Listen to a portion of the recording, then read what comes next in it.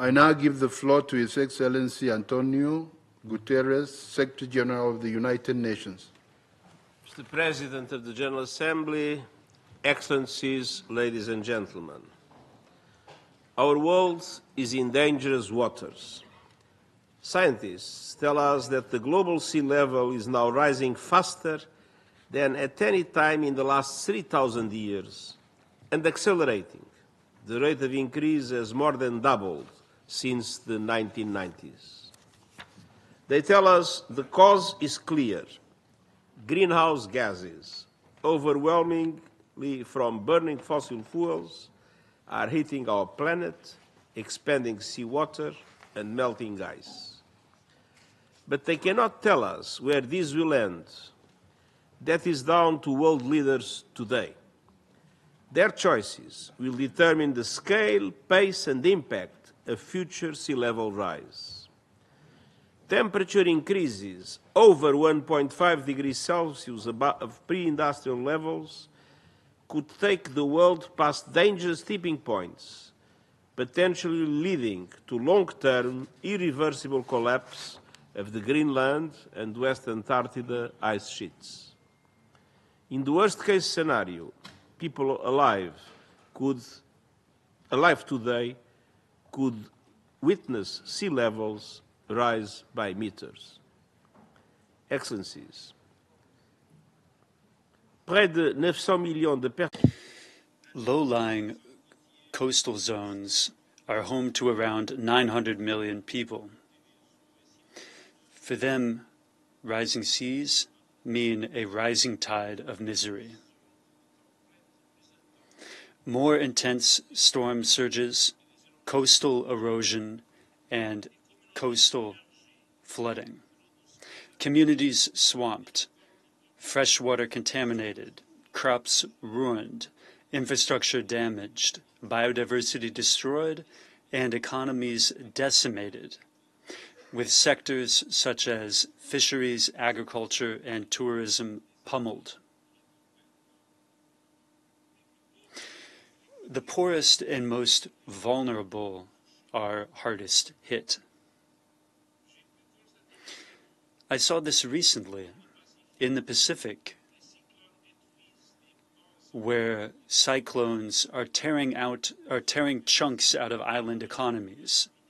In 2015, Vanuatu suffered damage equivalent to well over half its GDP. Meanwhile, in Panama, hundreds of island families have been relocated to the mainland. In Bangladesh, saltwater is polluting drinking water, killing crops, and creating a health threat that can be deadly, particularly for pregnant women.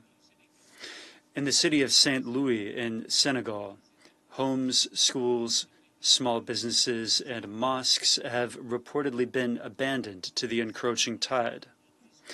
Such events are reproduced across the globe.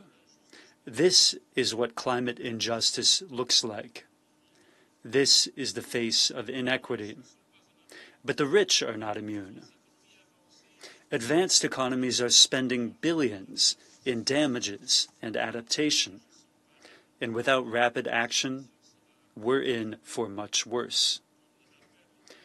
As the title of today's debate reminds us, for some, this could be existential. Whole islands lost. Coastal communities destroyed as lands become uninhabitable and uninsurable. Mass displacement can pile pressure on scarce resources elsewhere, inflaming already dire situations. Global trade, food systems, and supply chains will be battered as ports are damaged and agricultural land and fisheries ruined. Rising seas will reshape not only coastlines, but economies, politics, and security too. Excellencies, one drastic action to reduce emissions can limit sea level rise, and only drastic action to adapt can keep people safe from rising waters. Everyone must be protected by an alert system by 2027 in line with our early warnings for all initiative. And all countries must deliver new national climate action plans or national determined contributions well ahead of COP30 next year. These must align with 1.5 degrees, cover all sectors of the economy, and put us on track to phase out fossil fuels fast and fairly.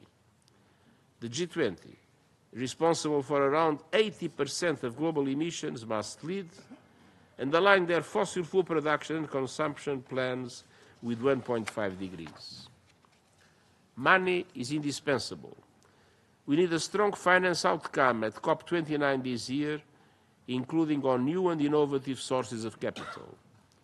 We need significant contributions to the new Loss and Damage Fund as a step towards climate justice. We need developed countries to double adaptation finance to at least 40 billion US dollars a year by 2025 and to show how they will close the adaptation finance gap.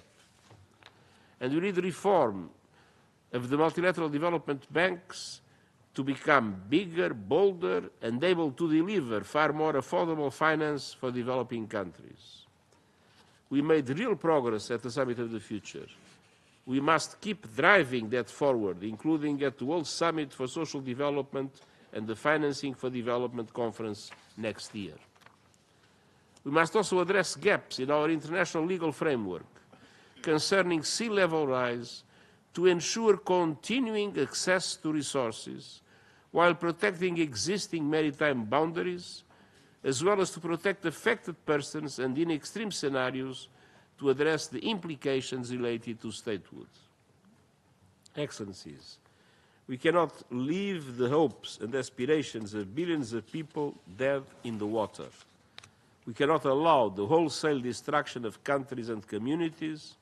It's time to turn the tide and save ourselves from rising seas. Thank you.